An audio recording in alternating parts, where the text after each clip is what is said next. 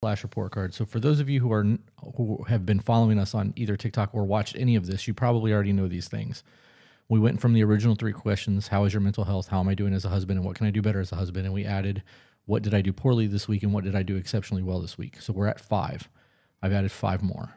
Okay. And I, I've listed a whole bunch of things out here that I want to talk about that's crucial to the check ins, but I want to explain a little bit what we do and why we do them so that people understand that this is more about making a better relationship and less about saving a marriage. The check ins can absolutely do that if you're able to have a communication, uh, open communication with your partner and you trust them and you're safe. This is not that. This is just to continue to grow together as a couple, right? so, We've added the phones have to be completely put away. They can't just be out. They have to be put in a pocket or put in another room so that they're not there. TV's off, radio's off. Um, we added the sit in the lap thing so that we can look each other face to face and there's no distractions. We have intimate conversation that way. Um, and then you ask the questions, you discuss the questions, and then um, I wrote down some other things to take a- account of when you're doing this. We've had a couple people say that the first check in that they did was hours long and they saw immediate changes in their partner because they were able to have a um, true conversation without there being conflict or or any kind of competitive behavior.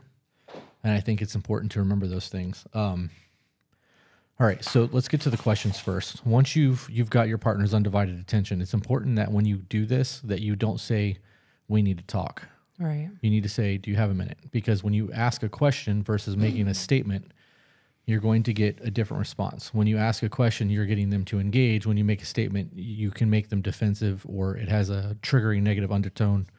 So that's a problem. And I'll get into that in a minute. So the questions now are the original five. Um, how is your mental health? How am I doing as your partner? What can I do to be better as your partner? What did I drop the ball on this week? And what did I do exceptionally well this week? Bonus questions are how um, how am I doing at meeting your emotional and intimacy needs? How would you rate our sex life on a scale of one to ten? Are you happy with the division of housework?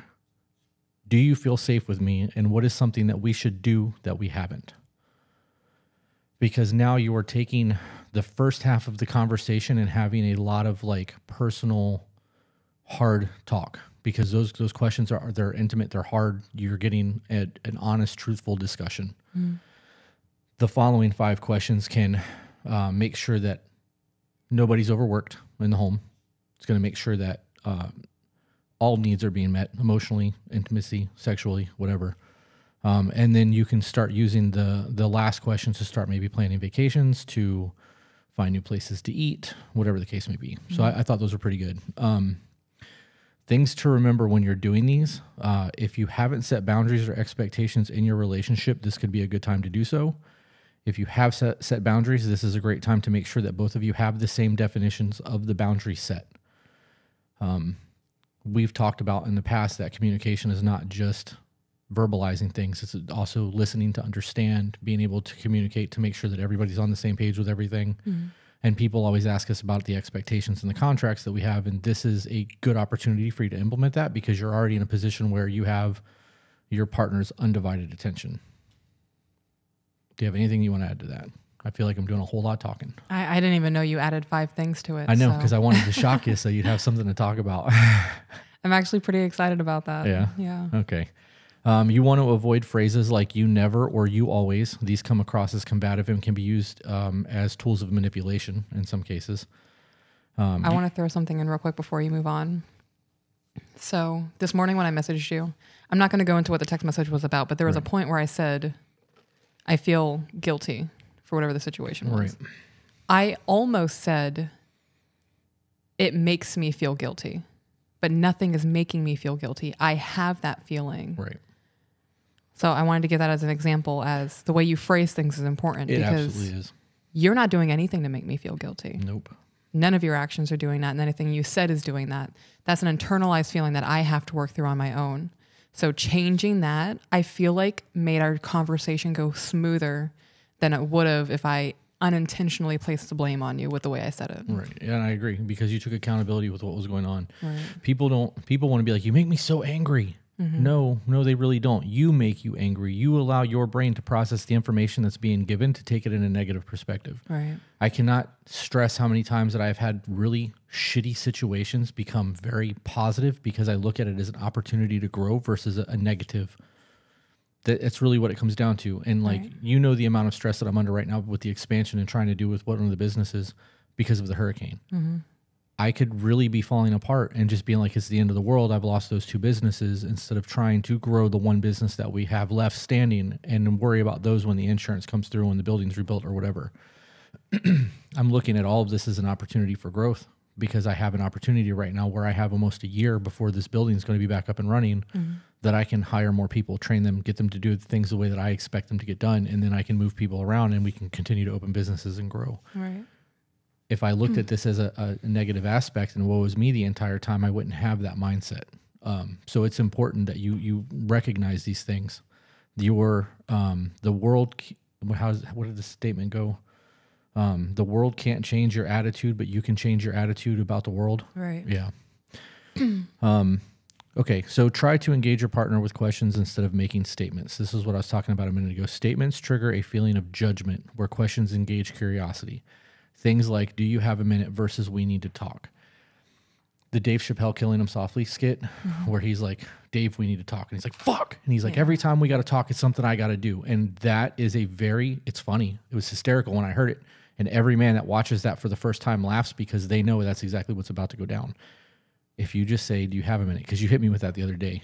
You were like, hey, I know you're about to do that, but do you, before you get on there, do you have a minute to talk to me? And I'm like, yeah, what do you, what's up? Like, it was a very different thing than had you been like, we need to talk. Cause I'm like, oh, here we go Right. you know so that's super important to remember um we need uh and by we i mean everyone needs to start listening to understand and not to respond allow your partner to complete their thought process before speaking work on giving a pause to think before you speak empathize and validate with what they're saying instead of just responding and this will help you uh, help make them feel heard and if you aren't sure what they're saying repeat what you heard back to them and make sure that you digest it before you give a response.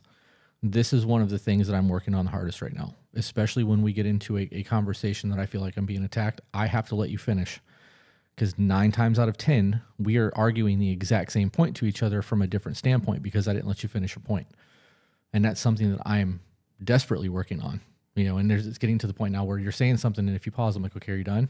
Because I don't want to interrupt your thought process and then us regress. Right. listening to understand is a big deal too because everybody gets caught up in having a conversation. They're just waiting for their turn to speak. They want their five minutes of fame. You know what i mean? So it's important to just allow that to process and, and play out. This thing keeps clicking. I don't know if it's because i'm touching the, the Rode mic or if it's the paper or what but it's starting to drive me nuts. I feel Um, like you just got a little louder. Did you just plug that back in? i don't know maybe. Did Might i get be a louder could be that. I turned my uh i don't know i'm mentally not there today apparently um Before you move on, I want to touch on the processing aspect and like understanding. Mm-hmm. I process depending on the situation and what is being said. Like if I have a lot of information thrown at me, it takes a while for me to process that shit. So if you guys are getting into like a super intense conversation, it's okay to say like I need to process this before we continue the conversation. right It's taken me I don't know, there was a day that it took me like 12 hours to process everything we discussed. right And then the next day I had to come to you and be like, okay, so we had the conversation. I processed it a little bit. Can we continue? right You know? I think that's important to recognize as well. Like, not everything has to be done in one single conversation mm-hmm. in a two hour time period. i agree I feel like stretching it out is also going to help people recognize like regulating emotions and saying, okay, well, he said this and that upset me. Why did it upset me? And that's something you can also discuss with your partner and be like, hey, you said this yesterday. It triggered me. I didn't know why it triggered me, but I think I figured it out. I kind of want to talk to you about that. Right. I think that it's important to remember that when you have these conversations too, like, uh, and I don't think I mentioned this in the beginning of the check-in. You are not allowed to get defensive. I did not. You're not allowed to get defensive in response to what your partner tells you. Right. You are. We call this the report card because you are asking for a report card. This is a situational report. You want to know, like, all these things. And if you get defensive because you're asking for somebody to give you feedback, one, you're never going to get positive feedback again. You're going to make your partner feel like they can't talk to you safely. They're going to feel unsafe in discussing things with you. Um, there's going to be a whole lot of other things that play in, but when you can turn that off and know that you are asking for this and know that your grade is indicative of your work efforts, you can't be mad at anybody but yourself.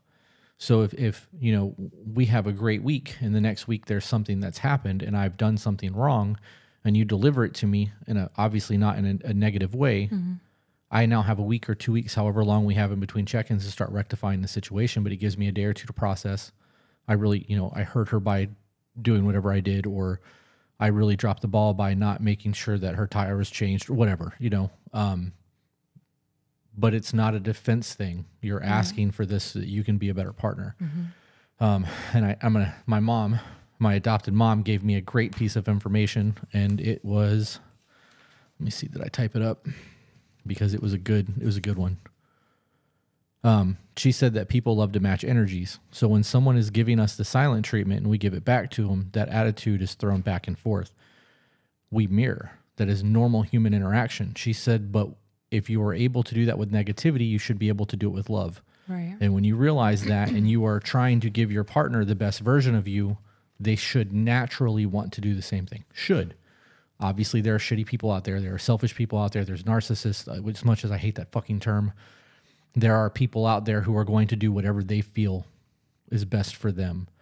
But when you and I are having a great relationship and you're taking that extra step, I'm like, oh bitch, I gotta one up you. We're gonna we're gonna do this now, you know. And like, it's not a one up thing, but I want to be better because you're trying to be better. You know, it, it's uh, we feed off of each other. and if people do that in negative moments, you should absolutely be doing it in positive ones. I agree. I'm going to correct you. You said when we have a great relationship. We have a great relationship. You know what I mean. There's days that like like yesterday uh that stupid cartoon was on.